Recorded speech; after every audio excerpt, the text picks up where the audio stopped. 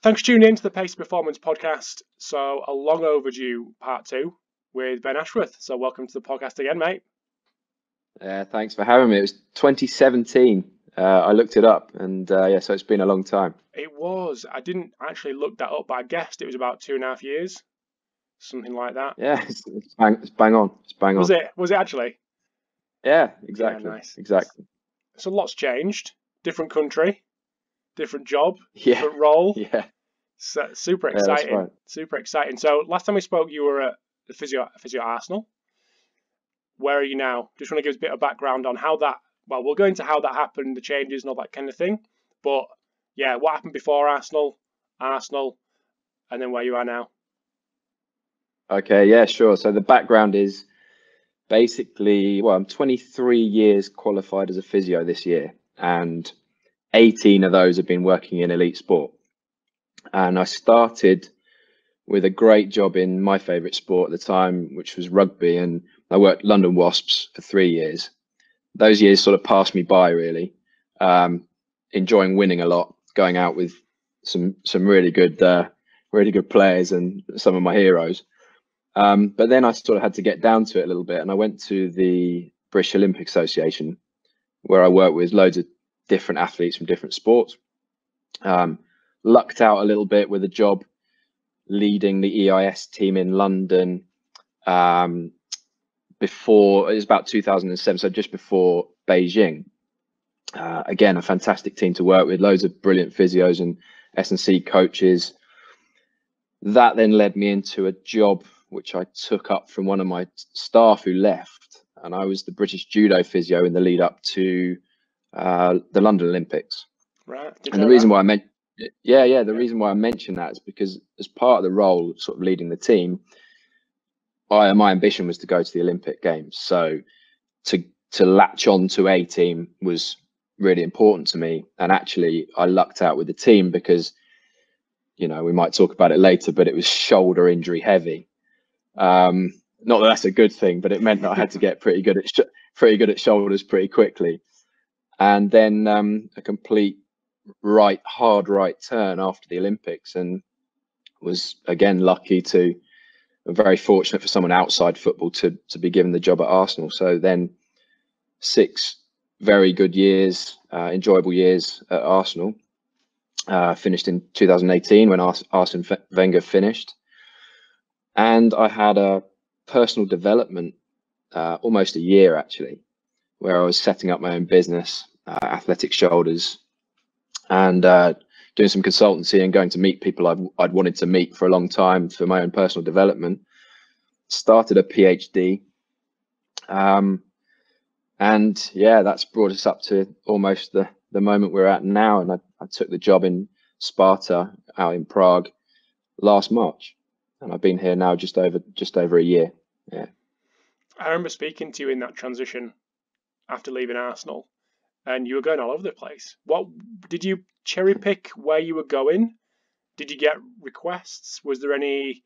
Yeah, what I'm trying to get is, was there any real plan in terms of a personal, professional development checklist that you wanted to go and and uh, and check off? Yeah, um, I think it was, you know, a, a voyage. People people always say, oh, you know, if you're in the if you're in the area, just pop in.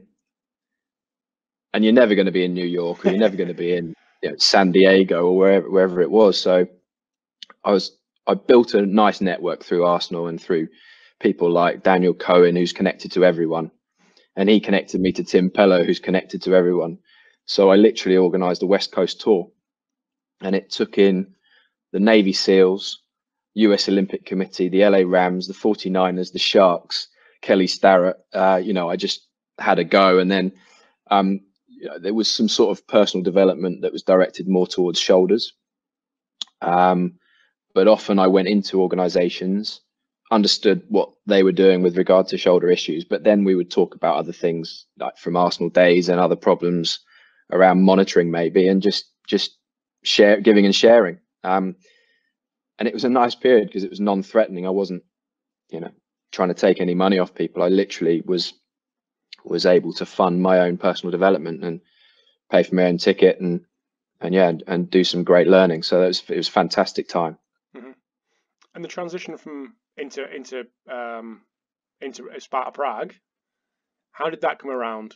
I've just been on a, a webinar about relationship building and you know all that kind of stuff, so it fits right in with yeah, that. Yeah, yeah. Well, that's good. Yeah, I mean, you know, there's no secret. The kind of my sporting director is um, Thomas uh, Rosicky or Tom Rosicky, as the English football public would know him as, and um, he came out here a year before and became the sporting director in the August um, before I before I joined the club, and I was his, you know, kind of go-to person at Arsenal on a day-to-day basis in the last couple of years, and we just spoke about loads of stuff and built a really good relationship. And okay, there's friendship there, but there's also some sticky sticky patches, you know, and and needing to be really honest and brutal with each other at times. So I think we just went through those those phases and just built a very strong trust. And um, so when they were looking for someone, actually, they reached out to me to help them find someone. Uh, you know, it wasn't a direct request because he didn't think I'd come. Um, and so because he knew I was, you know, pretty much enjoying my year, uh, and I'd set up my own business. Um, so then a few conversations later, and permission from my wife, and I, I started in I started in March, and it was literally the beginning of March. We went on a skiing holiday, and then at the end of March, I was out here um, just to sort of see out the last eight weeks of the season and just uh, have a surveillance period to see what was going on, what needed change, changing, or you know what the lay of the land was out here before we had this sort of break in the summer, so we could come back ready to start this season. So your family's still in England? Are they with you? Yeah, they're, they're in the UK. Yeah. Um, I've got an eight-year-old girl and eight-year-old daughter, and she's happy, and my wife's comfortable where they are. They live in quite close to Chelsea's training ground in Cobham, and you know, life's good for them, good network, and we've we did six months to see how it was, and everything was fine, and we're coping well. And we see each other when we can. Well, pre pre this time, we saw each other whenever we needed to. Uh, it's a little bit different now, but yeah, it's um, it, it it's going okay. I think um, probably benefits my marriage, me being away.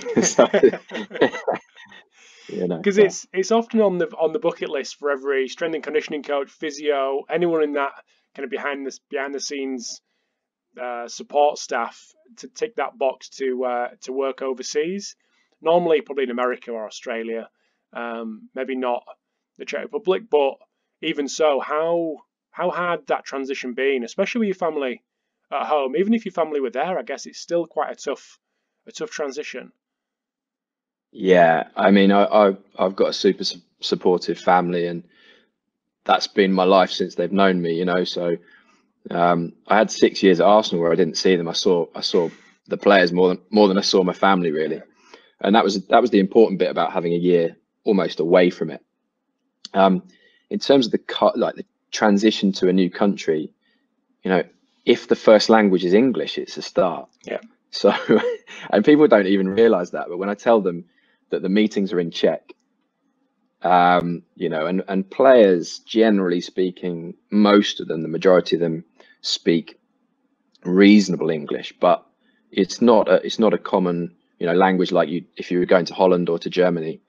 Um, meetings are primarily in Czech, mm. so that if you think about trying to influence change in a new environment, then you're not just relying on you know your ability to influence you're also relying on making sure that you capture a lot of the detail that gets lost in in translation and it's exactly as it says, you know, lost in translation. So you can send reports, you can Google Translate, you can do what you like to try and bridge the gap. But you know, spending time with coaches and being able to have conversations you, you, until you go to a place where you can't you can't speak the language, you don't really realize how how um, how flexible you have to be and how mm. kind of you know how on top of everything you need to be. So I think taught me a lot about taught me a lot about certainly inf- influence and mm-hmm. influencing styles.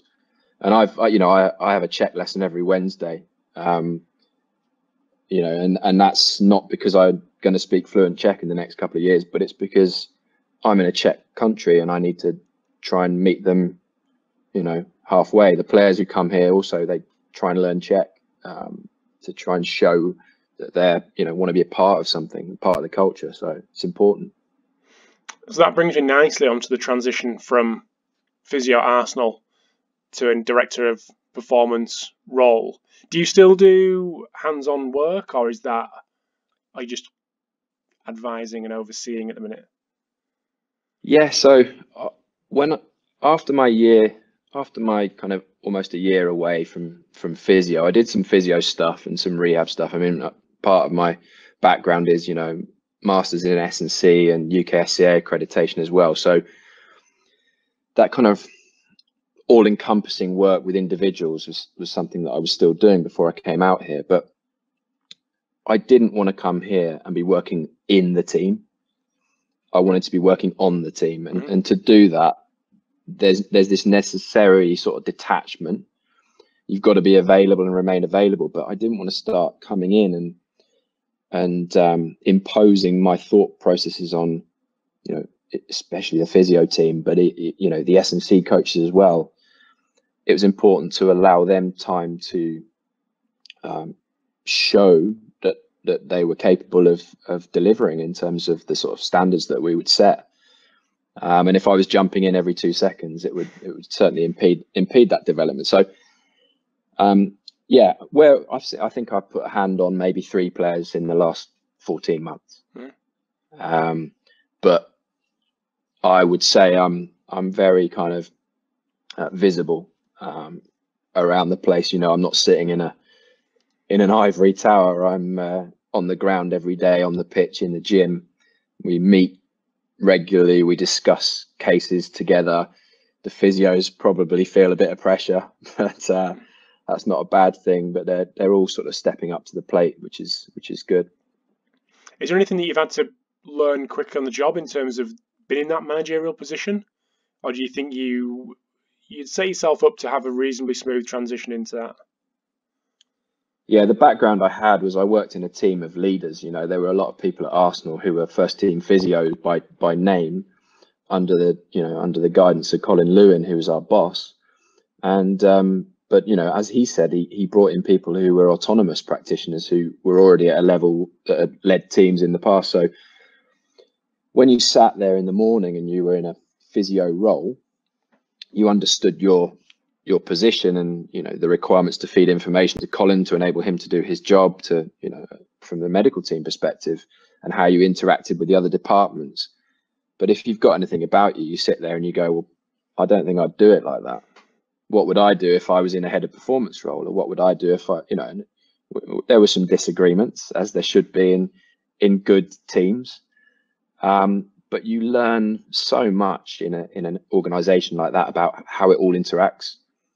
You spend time delving into GPS that you probably should have got home already, but you're so focused on one player and the fact that he did 60 meters more sprint distance than he should today, and you're currently working with him on his hamstring, you know. So that was a sort of microscopic view of life. Um, but yeah, I think, you know, to sort of answer the question is I felt very prepared to take the next step up. And I think the, the beauty of it was that I I didn't go in terms of a linear career progression from a first team physio to then a head of department to then spend a couple of years doing that, maybe even at an equivalent or lower level than Arsenal, and then try to transition up. I think that would have been detrimental to my career progress. And I, I knew I didn't want to go back and influence just the small things. I wanted to influence the big things. Mm-hmm. And uh, yeah, that was that was the key behind not taking jobs and opportunities that came my way within that nine month period, and actually hold out for the right the right challenge. Mm-hmm.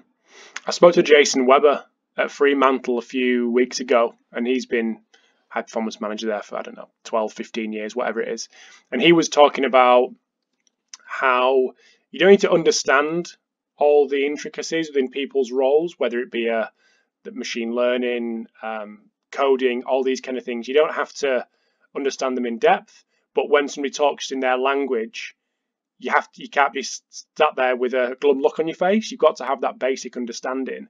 Is that something yeah. that you're getting to grips with in terms of them more, I suppose, specialist skills that maybe you don't learn through the traditional or traditional pathway what was 10, 15, 20 years ago? Yeah, I mean, currently, and I was, I sort of decided to do this. Um, was a lot of it. Our CEOs wants to be very data driven, um, and I, I'm, you know, people who know me probably, well, people who don't know me probably think I'm just a numbers person. So it sort of suits me.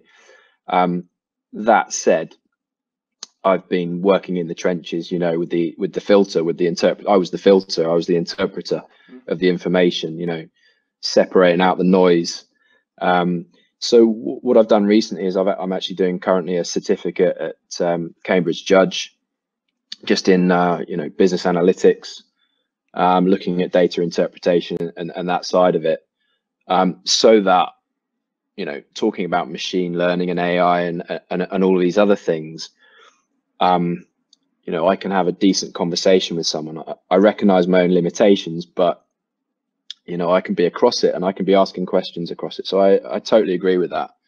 Um, similar thing around S&C coaching. I'm not an S&C coach, but I've done my time and I've not only formally qualified, but also worked with some really, really top people who who I still ask questions of now in my network you know? So being across that whole spectrum is is vital. And originally it was being across physio and S&C because that was my that was my day to day was trying to work on you know building robust athletes and trying to uh, you know make sure that there was no detriment to performance but now it's it's okay is there something else that can help our team you know is there information that we could we can hack to try and get a competitive advantage yeah so that business analytics, there's no there's no link in that course to sport. It's just within itself. But obviously, you're going to link it to sport. But the, the course itself, I mean. Yeah, it's it's. I mean, it's pretty it's pretty hard. I was doing it till one p 1, 1 a.m. last night because I yeah. got interested in it. But it, it's um, you know, decision trees and you know products and uh, and some case studies from different areas. So yeah, how how do you that the beauty of doing something like that, like any course, is if you're actually solving problems at the same time in your own workplace, and then you read a book, listen to a podcast, or do a course, and it's it's applicable, then then it, it it's fantastic for that. So, mm-hmm. you know, I, I, spoke to I spoke to Joe Club at Buffalo, mm-hmm. um, you know, and about their resources and their data science that they can utilize to answer some of their questions. And if you think about a lot of the work that I've done over over the years, it's all all been kind of a dumbed down version of science. You know, it might be regression, it might be linear relationships. It's not talking about kind of you know these these higher powered data science functions that I think are really really important to understand and and understand their their their place, understand their limitations. So yeah. Mm. So just getting the physio director of performance hat back on in a in a day to day workings, I suppose. In terms of culture and beliefs and way people work, how does that differ from the UK to to the Czech Republic and how they go about things, how they see things from a I suppose a clinical and just use an example return to play uh, point of view? Yeah, I mean, uh, again, I've only I've been at one football club in the UK, Arsenal. Yeah. I've been at one football club in the Czech Republic, so it might be a generalisation, mm-hmm. but um, I think what I found when I came, um, and this is not this is not uh, intended to be a criticism, but there's some good work going on. You know, people talk about silos, but there's some good work going on. There's maybe a different skill set and different um, ideas and concepts over here, and, particularly around the physio area, there might be there's a, a local guru who looks at you know developmental patterning, and so a lot of the preparation exercise will use this kind of develop, developmental patterning work, and that's really interesting and and probably achieves the same outcome from a different a different route. Um, but what what they perhaps didn't have here was this connection, this kind of idea of this interdisciplinary team. You know, my my role is the only one of its kind in in the Czech Republic, so it sort of shows you that no one really knew what to expect. And you know, from a point of view of just simple stuff around communication channels that you and I would probably take for granted, um, they needed some guidance and direction to bring everything together into one place and to create transparency of information.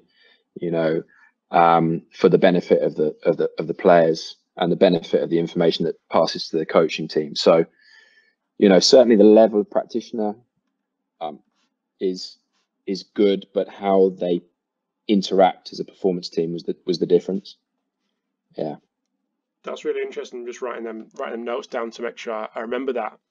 Maybe some things that the less sexy stuff, I guess. When somebody says, "Oh, I'm moving to be director of high performance," like, what's the first thing you do?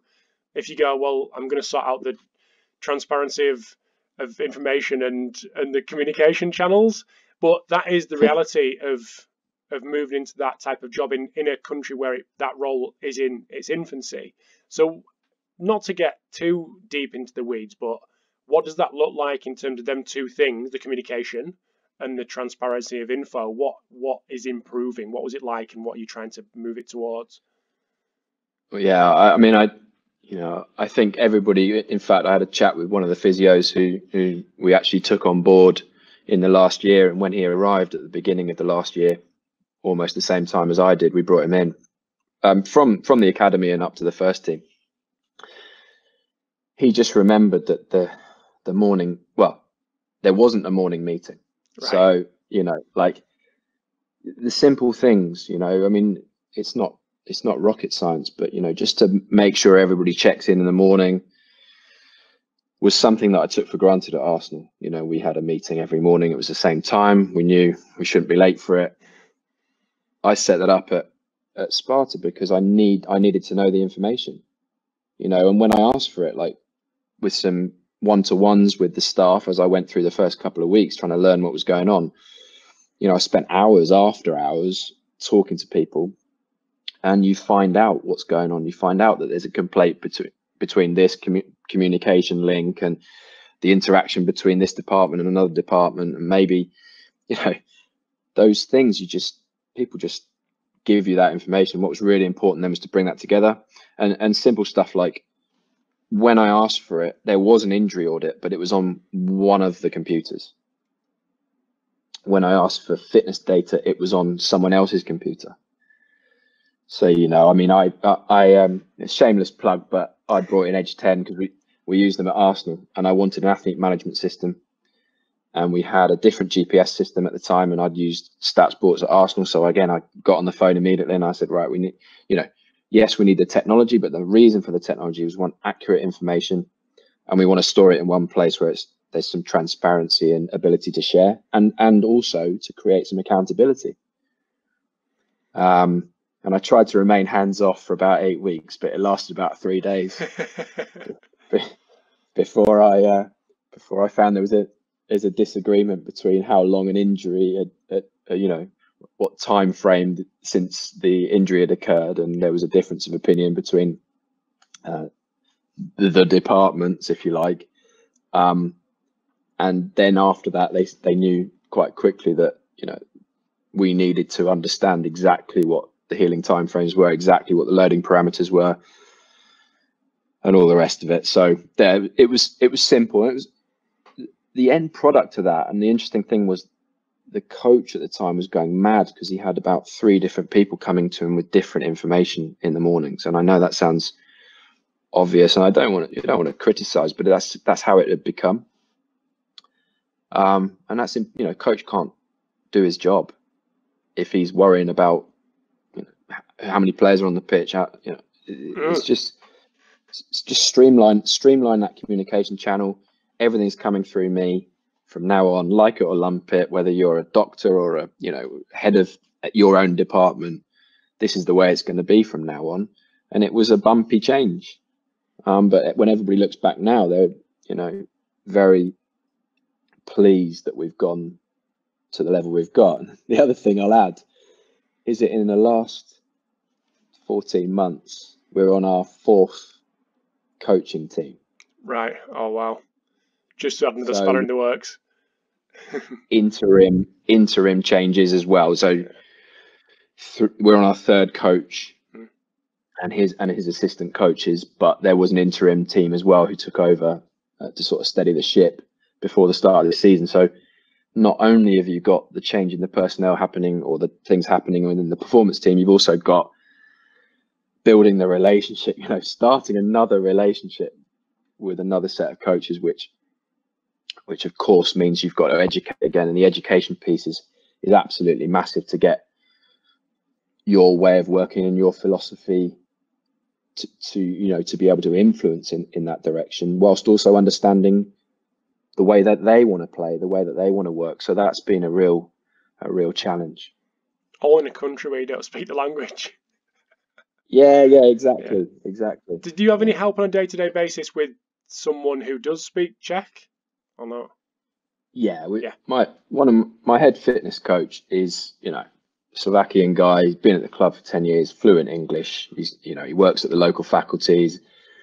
He's um you know he's a he's a good guy, and I take him in if there's something that is re- really needs and requires in-depth understanding to make sure there's no there's nothing lost in translation. I'll, I'll take him in with me. Yeah, absolutely, and we'll prepare and we have our morning meeting. Then we'll go into the coaches. So the the workflow has changed significantly as well. Yeah and, and it's just all it is is about making sure people not have the information that they need to do their jobs. Mm. Yeah. Nice, mate. So just going on to a, another topic which comes up all the time in the podcast, and I'm not going to apologise for going over it again with, with someone else. It's always good to get different perspective on how people think and beliefs and things like that, and that's hamstring injuries. So in terms yeah. of prevention or risk mitigation, or any other fancy term that we want to use, not basically not having players get hamstring injuries. What's your, I suppose, overarching belief and how you go about trying to trying to do that?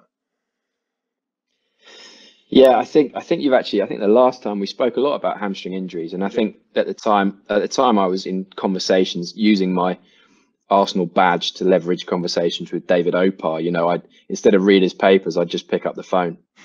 Um, and that's my that's my modus operandi, if you like, is just why would I read a paper on something when mm-hmm. I can just go to source? Yeah. And the conversations we had probably, you know, he would say, I met up with him a couple of years ago, he would say, actually shaped some of the work that they were doing because we were dealing with hamstrings. We had, you know, a decent injury list in some of those years, and we had a, a, a, a problem that we needed to solve and so we went and tried to solve it. So the reason why I'm saying that is because there are better people than me who've done massive studies in PhDs and all the rest of it on on um, on hamstring injuries, and I I'm just an interpreter of that research and have to try and grab and filter what I want and put it into place in my own environment.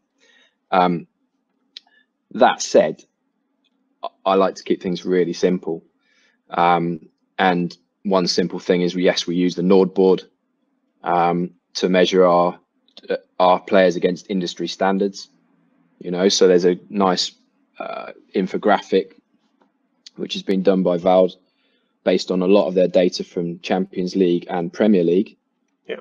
And we know where we sit as a team average compared to those team averages from those European teams.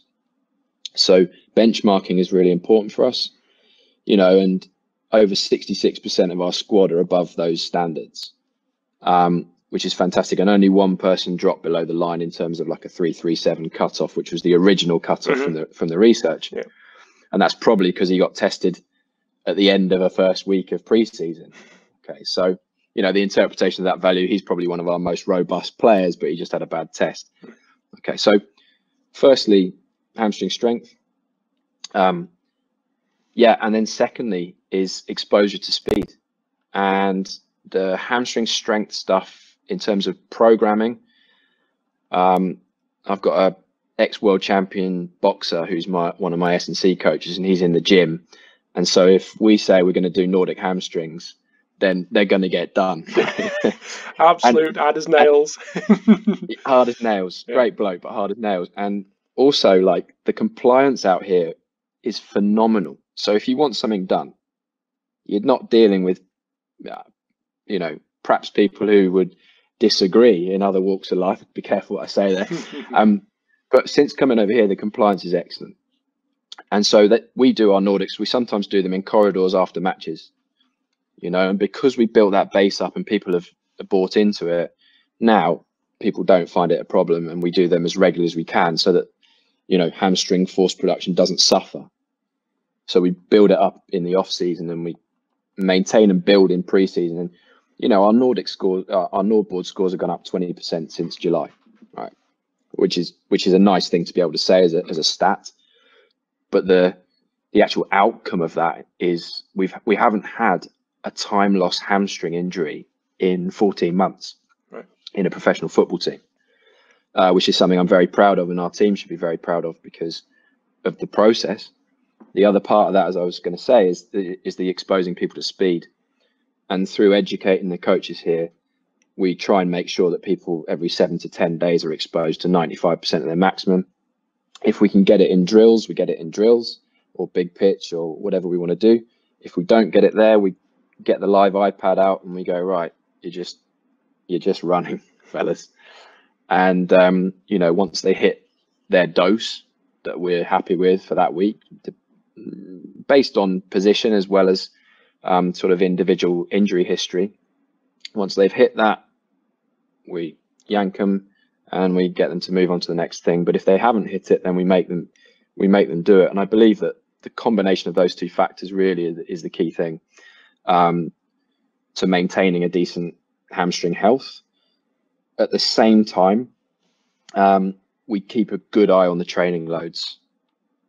So you know, I think speaking to David Opar back in the day, 70% we put down to kind of training load in our conversations you know right. so managing that piece was really important and then when you had a spike in load could you buffer against it by influencing all of those kind of um, modifiable risk factors um, and the way we would choose to do that in our cohort and our, our players is to just smash out nordics um, for most players uh, you know it, it really is that simple Let's talk about post-match Nordics because that's maybe been touched on before, but not gone into super lots of detail, and maybe it doesn't. It's not necessary to go in lots of detail here. But what did you introduce that at Sparta Prague, or was that in previous club, uh, previous club at Arsenal? And what was the buy-in like? What what um, what triggers the need for that? Is there a certain um, number of times they're exposed to it in a week, and therefore the only time you can get it in is after a game. Tell, tell us a little bit more about that. Yeah, so a few things there. I think at Arsenal we tried to, you know, we, certainly with with Shad Forsythe and Barry Solan at Arsenal coming in there, players who hadn't played a full match would would, you know, do their do their leg strength work at the stadium after a game and the, the things you can do is up to you. But you know, within the changing room, you can do a Nordic and you can do a Bulgarian and you can do an RDL probably. So that that was easy to do and something that some players did. Um, but when I came here, it was more about the exactly as you say, the making sure they get that regular dose in based on you know the research that would suggest that if you don't maintain that things are going to change you know from a architectural point of view, but also from a force production point of view. Um, and I think also if you did that immediately and you hadn't built up to it in a pre-season, of course there'd be problems and issues with recovery. But it was finding the right time in the week to do Nordics. And if you played, you know, we played in some of the Europa stages, early stages of Europa. If you're playing three games a week, you know, you can't you can't do a, a set of Nordics two days before a game really in some players. And so we tried to literally just go, right, well, it's a high day. We're going to smash in the Nordics as well. And then we're going to recover hard for the next couple of days and, and, and get them back up to the level where they're going to perform again. The idea is that you leave a three day window before they're going to really expose themselves to a high volume of high intensity. Mm. And that's yeah. exactly the same, not exactly the same, but similar with um, with the high speed running and the, and the sprint exposures. You do some after a game. Would you do some after a game? Not necessarily for the guys that have played, but for the for the guys that hadn't, just to make the most of that. Sometimes time that's actually lost because it's a game day? Yeah, we will now. Yeah. Because we've got we've got a basketball schedule coming up. Yes. So um so so yeah, we'll we'll see how good our hamstrings are over the next month or so. But um yeah, I think the the important thing is almost to keep people on the same rhythm. And if you're going to be playing every three days or t- you know three games in a week, if you like, or three games in eight, seven or eight days, then there's no good time. Mhm. You know, and, and people have different ways of doing it, and our way is to do it after ma- after matches, and it's an optional thing. You know, so uh, we don't go and say you have to do them. Maybe we do because the boxing uh, straight straight Yeah, straight his coach on. uh, gives them the option. Yeah, gives them the option. Will you you doing your Nordics? Yeah. Um, but um, yeah, the compliance is is incredible. And and of course, if someone's tight or they've had a high exposure and they don't want to do it, then we don't we don't make them do it. Um, we just note down that they haven't done it. So That- that- what? So what kind thing. of in terms of Nordics, what kind of volumes are we looking at after after if, Uh, we, if you can af- do it after games? After games, you know, two threes. Okay. That's all. Yeah. Yeah. Yep. So just making sure that it's a four to five second rep, not a not a falling over clap push up. Mhm.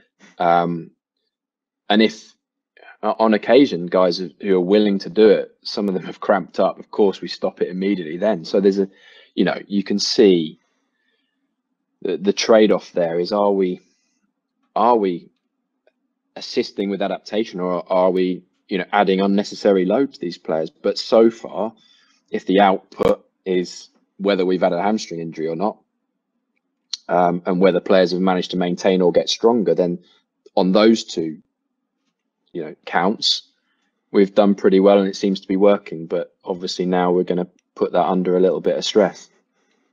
See how good you've been.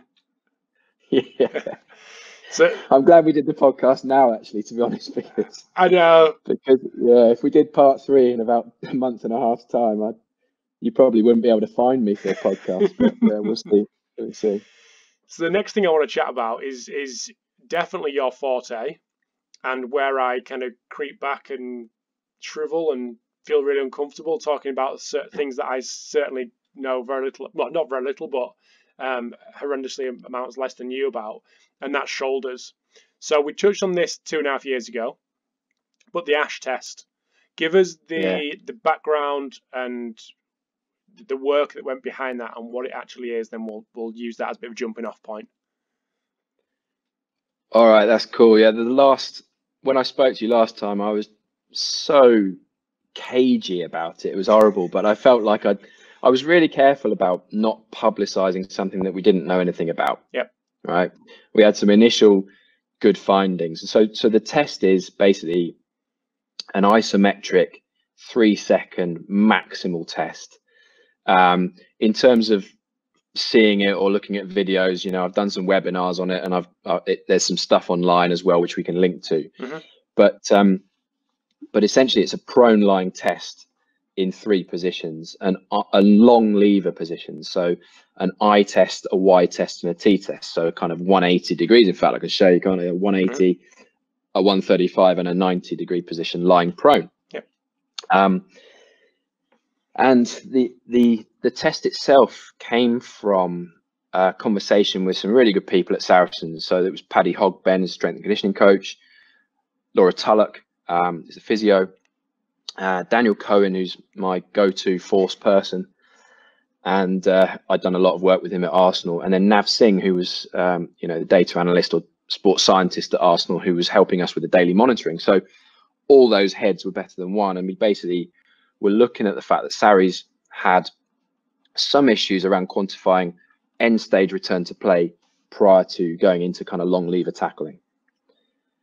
And they were doing a load of handheld dynamometer testing.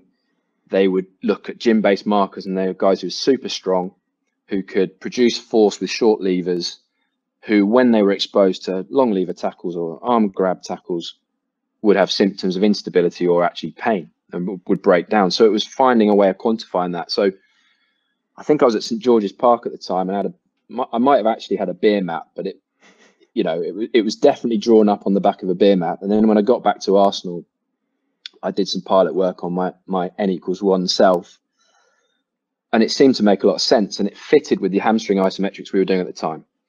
Anyway, then the Sarries guys, the team there, ran with it. And what they did was they did a lot of pilot work on a number of people. And we met as a group to discuss what they were finding and how we could modify that quite regularly. Good learning for all of us, really, um, around this problem solving. And so at the end of the day, they found a lot of stuff in their pilot testing that, that was of great interest. So historical shoulder problems that had big asymmetries, or guys who, you know, passed certain tests but didn't pass others, or guys coming back from surgery who at certain stages were having definite deficits still that weren't even uh, some of them they did in the pilot study who then became injured they then had a pre-injury benchmark for so they could use that. So mm. long story short we had a number of case studies that showed really interesting stuff and i think that was about the time i spoke to you. Um, yeah i don't think you can oh, i don't think you can mention saracens when we spoke. No i, I think I you have to keep that yeah yeah. Yeah i don't think i, I could and, and the guys there have been really good about like sharing the information. Mm you know, uh, as long as it's de-identified, you know, we published it. I mean, we published it as a a non-sexy reliability piece, but that was I was determined to get that done to show that it worked and could give you reliable data, because from my world at the time, that was so important. Hmm. Um, but what I really wanted to get onto was sharing it so that people could apply it. And what's happened since then is, you know, I mean, yeah, I'm trying to use a word that isn't viral, but you know, it, it, it's it's essentially I'm getting I'm getting emails pinging pinged with emails from from you know, volleyball coaches in in in various countries like sevens teams, you know, in, women's sevens in New Zealand, you know, wherever it is, who are asking about this test now because it's out there in the public domain. Um, Daniel Cohen and I have written a BJSM editorial about basically rate of force development and using that as one test as part of a cluster of tests like with a plyometric push up, with the original handheld dynamometry stuff, or using a force frame. You know, it it it fills a knowledge gap. There's a this long lever test seems to hit stuff that others other tests don't, mm-hmm. and it is very applicable uh, to people I have conversations with in Major League Baseball. Um, you know, talking to tennis and British tennis, it's very applicable. And now we've got some really interesting information from a number of studies that not only looks at injury risk when compared to this, but also stacks up um, against performance markers. Yeah, so it's it's it's growing all the time. It's not at the stage of lower body literature and, and understanding, but it's it's this area that I'm really keen on making sure we we uh, you know build and develop the ideas as fast as we can. Mm-hmm. One thing I saw the other day, and I, I, put it on the on the email that I, I, fired over, the message that I fired over, was the force Is that what they're called? Force hooks. Yes. Yes, because there's an image of the guy. I think I think it might have been a girl on lying prone on the bench, and yeah, yeah. Could that could that be utilized instead of a force plate? Because I'm I'm guessing it. you might tell me wrong, but I don't think this product's out yet. But they're doing a lot of bit of publicity around it, and maybe cheaper That's option right. than a force plate. Yeah, so I already told you I'm. I already told you I'm straight to the point. I've yeah. called. I called. I called them up and I yeah. wanted to chat because actually they put the ash test using a bar prone using the, the force hooks, mm-hmm. and I had a good good conversation about that. So it comes back to the thought process. You know, okay. we decided to do it in those positions using a force platform because it was stable. It takes out human error, and also it gives you RFD, which other other tests don't. So they'll give you peak force, but it won't give you RFD. So as a compromise, something like a handheld dynamometer can be used. Even a sphyg cuff, so the squeeze cuff that okay. used for adductors, yep. can be used because I've supervised an MSc project that looked at the correlation between the force platform and the ASH test and um, and the sphyg cuff just so that it can get out to the wider population. But ultimately, you're missing a big piece of the puzzle, which is rate of force development. Yeah. Um, We'll come back to that in a minute. Just remind myself. Yeah, yeah. yeah. Yeah, no worries. And I think that the the other thing about that to say is there's some guys who have sunken force platforms just by their facilities, mm. and they've used a dumbbell on the platform in the same positions just because they see the value of the positions. As long as you standardize and do your own internal validation on your test and it's reliable and repeatable, then yeah, it, I'm, I'm not saying it's the right or wrong thing to do. I'm just saying that you know we're building a body of knowledge around one thing we've standardized that and we know it works how you decide to apply it with your own cohort of athletes. I've got the uh, I've got the force platforms in my flat from the last few weeks, and I've been playing around with different angles. So you know, just in terms of ball release for for baseball, and yeah, there's some other bits and pieces I'm playing around with for my PhD when that kind of kicks back in. But um, yeah, I'm I'm not precious about it being the only test. It's just interesting, I think, looking at longer levers hmm. um, and what that relates to. Yeah. Who are the guys behind the Force Hooks? Seems though you've spoken to them, is it independent? Uh, Jason, yeah, uh, Jason is um, the main guy, and he's um, developed that. He's working uh, with um, Sophie Nimphius, I believe, okay. and uh, yeah, they're working down there in Australia. Um, yeah, and you know, again, I, as I understand it, that's going to be at some point in the next few months is going to be available. I think they're just making some, you know, uh, last minute sort of modifications to the product before the launch. Yeah, nice. So back to RFD. Why so why so important? Yeah. Why so important? Well, all the meaningful actions of injury and performance happen in a very short time window. And um, you know, if you look at lower limb literature, which is basically what I'm doing, is I'm hacking into lower limb stuff that's already been done and then trying to apply it to the upper mm, body, absolutely. which makes sense to me. Um, if you look at a if you look at a drop jump, you know, athletes can't necessarily perform a decent drop jump the day after a game in football, but they can probably do a reasonably normal counter movement jump. So if you give people longer to produce force, then not anybody can do it, but you know, you, you can you can get away with it. You can you can still perform in tests. So the reason for the RFD stuff is that in in my eyes, it's a sensitive marker of fatigue, and it's something that can be, whilst it's quite a volatile metric in a number of areas, and as you know, in the literature, if you look at it, if you've got um, a coefficient of variation of under 15% in your RFD, you're probably doing pretty well we've seen RFD in the ASH test of 5% across four trials, you know, so the, the most important thing just on that is the familiarization and the education around it before you go in cold and try and do it.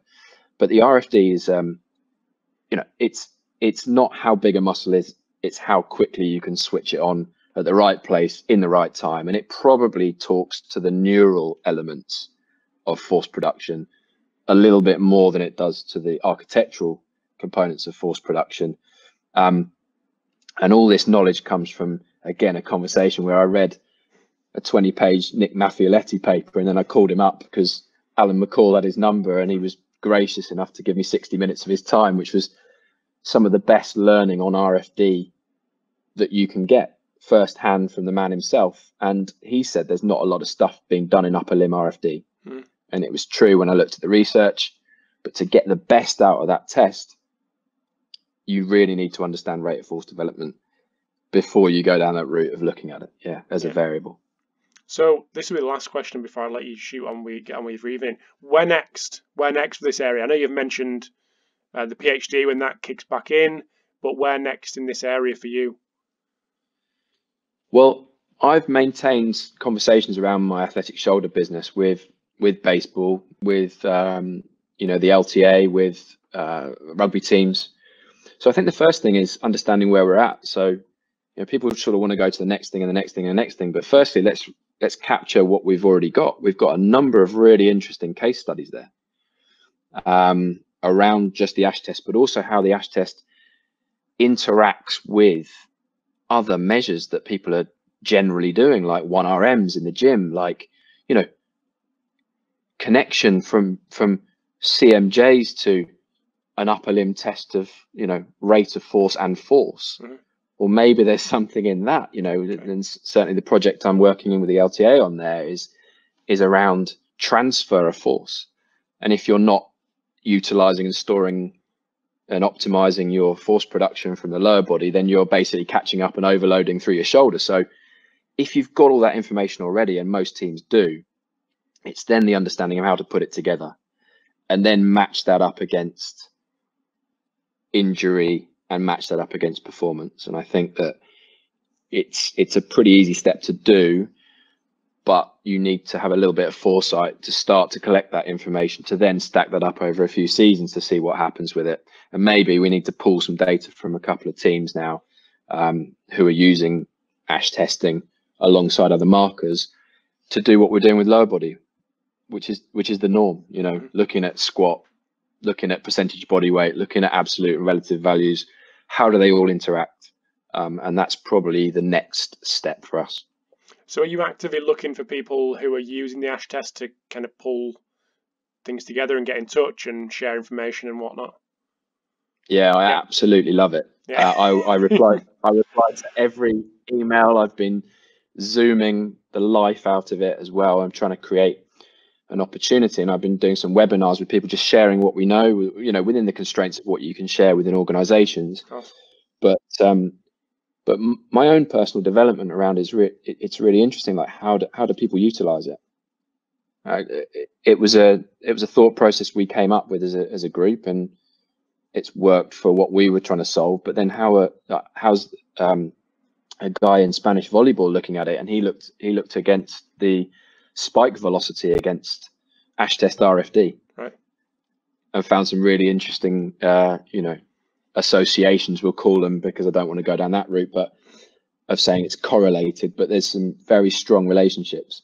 Um, working as a consultant for the Toronto Blue Jays, which I can say with Clive Brewer and Angus, um, I was in house in spring training for five days, and, and we'd already looked at one year's worth of information around their their athletes and their players before we then tested them again.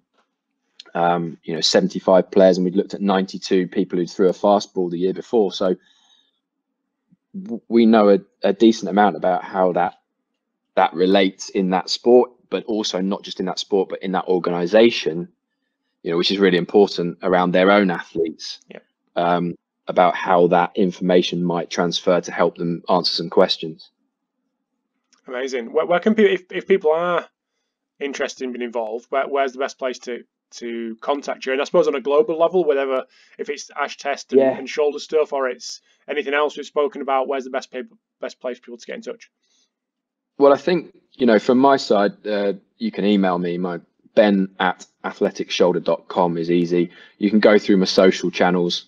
Um, so Ben Ashworth on Twitter or Athletic Shoulder on Instagram if that's easier for you um, or I'm on LinkedIn. So whichever you come at me with, um, probably an email's the best. Awesome. Well, I'm going to let you get on with your evening. What what time is it there? Are you at, how many hours in front of you? Well, we're um, what are we on? Seven seven twenty here. Oh, okay. So we're an hour we're an hour ahead. Okay. And um, before I go, and we mentioned this before actually, and you know that I've got a podcast of my own up and running. Oh yes, sorry, sorry, apologies. That's yes. okay that's okay. You know, I know you see it as massive competition. um, so you, you were trying to cut me off before I plugged it. Right, finish there, finish there, stop, stop. yeah.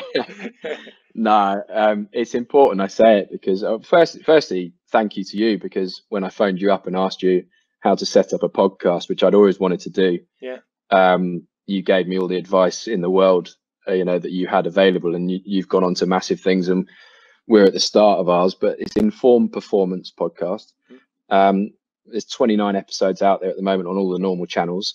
And the main thing to say is I couldn't do it on my own. So I met a really good guy who's a dual qualified S&C coach and, and physio, Andy McDonald, who's now doing his doctorate out in Philadelphia. So he's the voice slash face of the podcast at the moment. Um, and you know, you can go on Instagram and inform performance, and you can go on Twitter, inform pod. Um, and we've tried to, wherever possible, not to interview guests that have been on Pacey Performance, if I'm honest.